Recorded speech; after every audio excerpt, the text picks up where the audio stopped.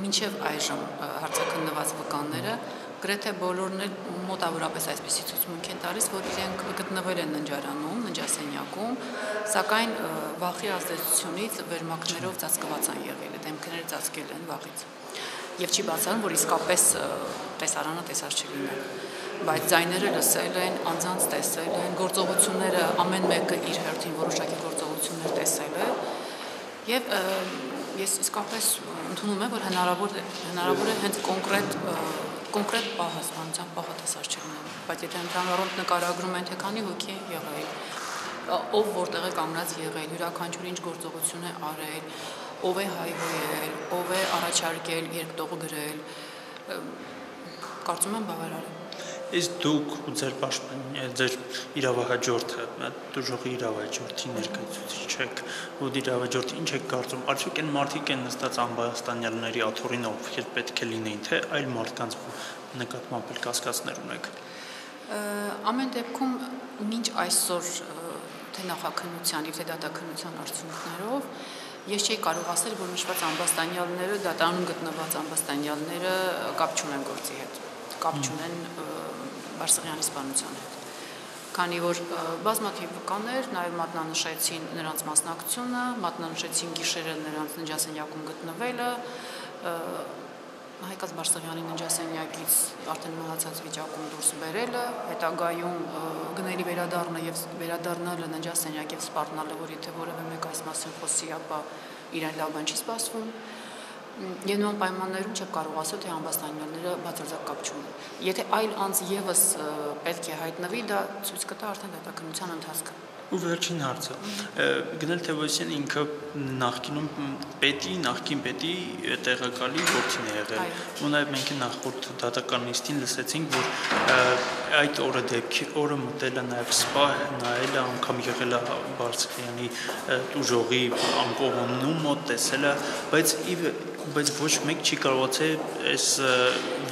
վերահսկողություն չի եղել, որպեսի բացառվեն նման դեպքեր։ Դուք ինչ եք կարծում, իր մեղքի բաժինը չունի հենց սպայական կազմը, հենց ղեկավարությունը։ Դա միանշանակ, միանշանակ տեղին տեղին նկատառում է եւ այս առումով մենք դատաքննության ավարտին համապատասխան միջնորդություններով հանդես են գալու քանզի եթե չլիներ պատշաճ կարգապահություն, եթե չլիներ պատշաճ պահանջկոտություն զինծառայողների նկատմամբ, ապա այս ամենը տեղի չէր ունենա։ Ինչ է նշանակում այնպիսի ուսումնական հաստատություն, ինչպեսին Վազգեն Սարգսյան ինստիտուտն է, կերուխում կազմակերպել, խմել, ինչ որ հաշիվներ մաքրել, որոշակի անձին կունեն արտոնություն, ունենան արտոնություններ, տուն գնան, չգնան, երբ ուզեն վերադառնան, իսկն այդ հեղինակություն, ճակերտավոր հեղինակություն որպես այդպես առանձնանալ զինվորների շրջապատում, որտեղ որտեղ այն այդպիսի ուսումնական հաստատությունում դա անթույլատրելի է։ Եվ նման պայմաններում գտնվում իսկապես այո արմատից է գալիս եւ արմատ այն է, որ այդտեղ բարձի թողի է եղել կարգապահությունը։ Շատ լավ, շնորհակալություն։ Ես ի սկզբանե ներկայացրել եմ դա երևում է նաև բացարկայտնելու մեջ, երբ որ դատախազին բացարկայտնեցինք, իմ պաշտպանյալ Մովսես Ազարյանը ընդհանրապես առողջություն չունի տվյալ գործի հետ։ Այսինքն, սա բացատրում է նաև ցուցմունքներով նախաքնության ժամանակ դրված ցուցմունքները, դատաքնության ժամանակ դրված ցուցմունքները եւ այդ աղաղակող հակասությունները ցուցմունքներում արդեն իսկ խոսում են այն մասին, որ անարժանավատ չի Այսինքն, իրավական գնահատականը բնականաբար տալիս է դատարանը, բայց արդեն իսկ ձեռք բերված փաստերով տեսանելի է անզեն աչքով պատրաստատիր չէ իրավաբան լինեք եթե շատ ու շատիր դատարանի դալիճում լինեք եւ լսեք ցուսմունքները Մովսես Ազարյանը սպանության հետ ընդհանրապես առողջություն չունի Այո, եղել են փոքրիկ էպիզոդներ 359 հոդվածի դրվագներ կան այնտեղ, որը եւս ապացուցման կարիք ունի, չնայած նրանցից մեկը ապացուցվեց, որ Մովսես Ազարյանը շատ ավելի օգտակար գործողություն է կատարել, այսինքն կանխել է ընկերոջ Կարեն Բաղրամյանի ինքնասպանության գործելու ցանկությունը, դա բնականաբար ողի արարք է, նրանք էլ արդեն ընթանում են։ Դատաքննությունը པարզ կդառնա։ Դատաքննության ժամանակ Արդեն իսկ ակնառու է այդ փաստը, տեսնում ենք, որ Մովսես Ազարյանը Հայկած Բարսեղյանի սպանության հետ առնչություն չունի։ Քնած է եղել նախորդ դատական լիստին դուք կային Թելման Մխիթարյան։ Ցուսմուկ չտվեց, հրաժարվեց ցուսմուկից։ Եթե մենք լսեինք Թելման Մխիթարյանի ցուսմուկը,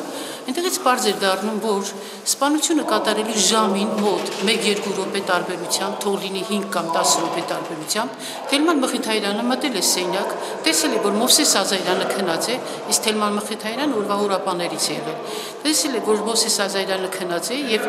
ձեռքը դրված հեռախոսի վրա երաշտությունը միացրած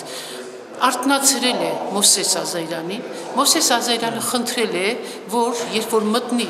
սենյակ, ննջասենյակ մնի, տեսնի ինքը քնած է, թող անջատի հեռախոսը եւ դնի բարձի տակ։ Մեկ դիտարկում եմ ուզում ընդհանրեն անել մարտահսպանության գնաց գնացող ընդհանրապես հանցագործություն կատարող անձը նման բան չէր ասի այսինքն կարող է Թելման Մխիթարյանը մտներ այնպիսի ժամանակ երբ որ իրապես գործողությունը պետք է կատարվեր իրենց կողմից իր կողմից կոնկրետ եւ Մոսես Ազարյանը սենյակում չլիներ Բայց մարդը ասել է մտի սենյակ, երբ որ ես քնած կլինեմ, հերախոս անջատիր իր բարձի տակը։ Դա արդեն ամեն ինչի մասին խոսում է։